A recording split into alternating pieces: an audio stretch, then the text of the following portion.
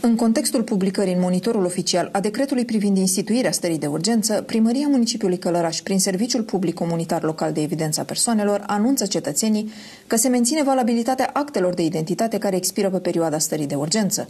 Se pot depune cereri pentru eliberarea certificatelor de stare civilă și a actelor de identitate la ghișeele serviciului, iar pentru situații deosebite este posibilă programarea telefonică pe perioada instituirii stării de urgență. Având în vedere că programul de audiență a fost suspendat, petițiile pot fi depuse online.